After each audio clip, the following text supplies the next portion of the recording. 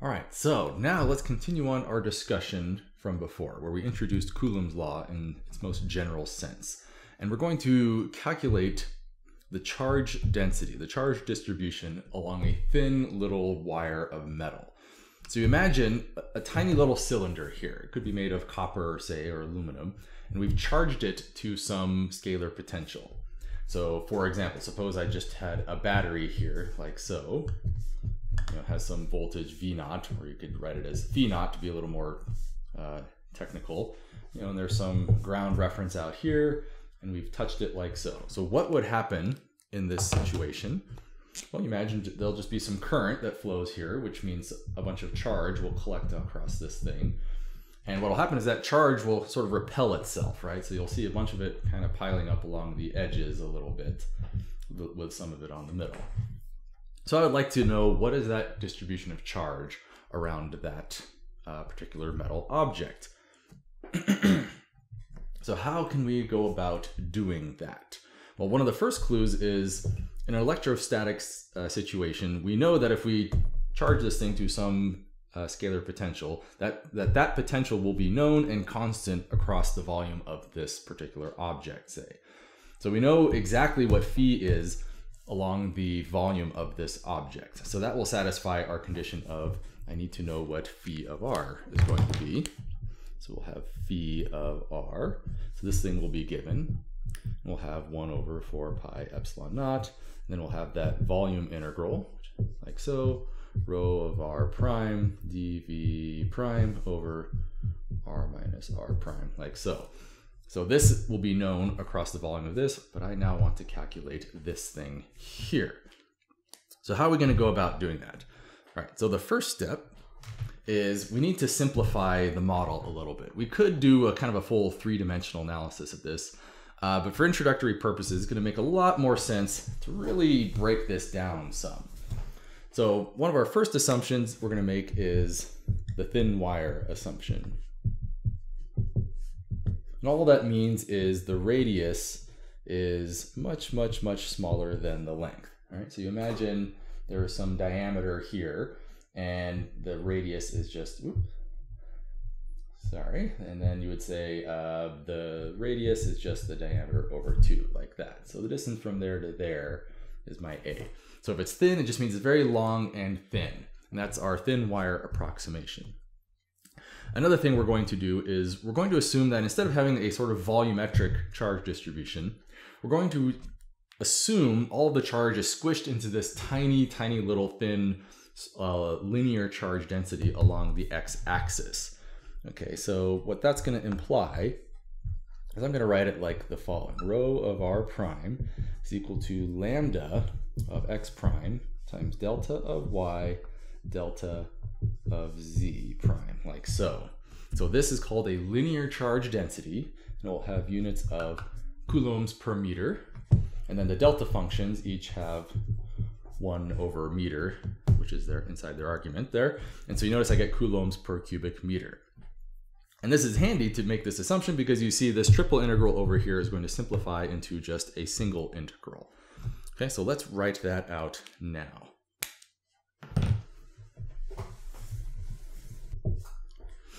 Okay, so this is what the integral simplifies into. So you notice this charge density over three integrals has been reduced to a linear charge density over a single integral like so. And this denominator here as well is going to simplify a bit.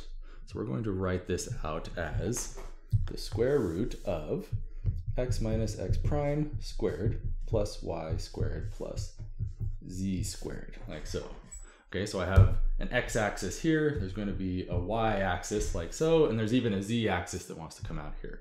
So for simplicity, however, it's going to make a lot of sense to just assume that z equals zero. Okay, so because there, there's no real reason to pick any particular orientation, and there's a symmetry if we spin this thing around. Uh, so we can just ignore the z-axis for now. That's okay. And then we get an expression like the following.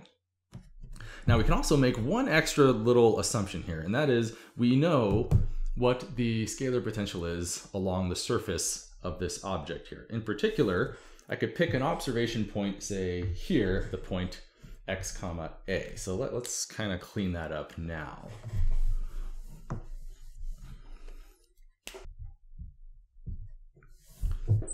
Okay, so I've redrawn my wire here, and I'm picking out a point here at a distance a away from the x-axis here. So I can do that because I know that phi of x comma a, like so, is equal to phi naught, right? So it might be like one volt or something. And it's gonna look sort of like the following. Epsilon naught, integral from zero to L, lambda of x prime, dx prime, all over, and I'm gonna put in just simply an a here, plus a squared, like so, okay? This is now the equation we care about right here. You know, it's, it's a bit of an approximation because we cheated a little bit in our model. We basically pretended as if all of the charge were squished into the x-axis here, but then we also imposed the condition that the scalar potential is a constant on the outside of the cylinder. So really this should be kind of an approximation. It's a little flimsy, but that's okay because it will demonstrate the method of moments. It just is going to hurt us a little bit in that we can't chop this thing up into infinitely thin wires forever uh, without introducing some error. But as long as our thin wire approximation is strong, that is, we make it very long and very skinny, this approximation is going to hold pretty well, and that's okay. So why is this expression here uh, useful? So this expression is going to tell us a lot. It actually fits into a very special template. So let's just take a moment to step back and write that out now.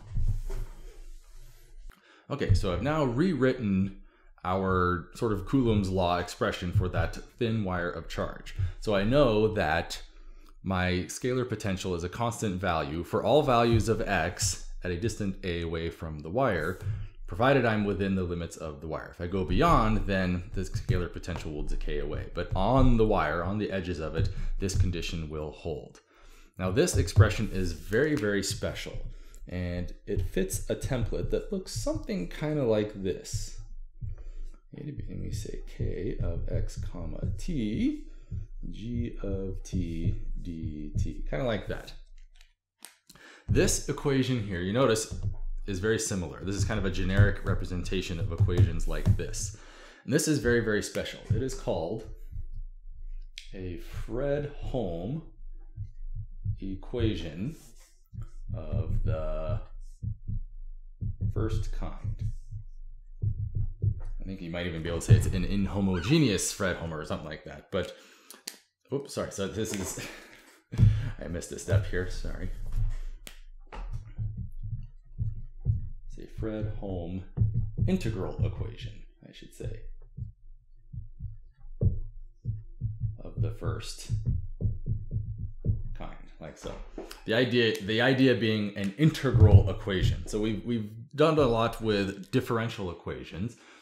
Now we're going to look at this idea of an integral equation. And this is special now because this here is called the kernel.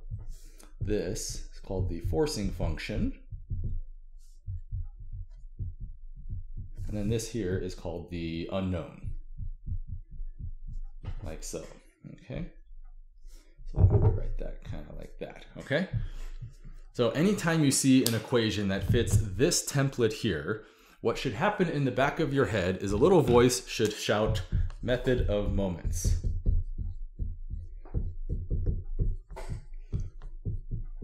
Like so. Okay, so we've dealt a lot with partial differential equations and you found that finite differencing worked very well. Now we have this sort of integral equation that we want to solve, where namely our unknown thing is buried inside of this integral expression here. So I know the stuff out here, I know what the kernel is, and I want to dig this thing out. Anytime this little template comes to mind, you should shout method of moments as a method for calculating this unknown function. So let's introduce that in the next lesson.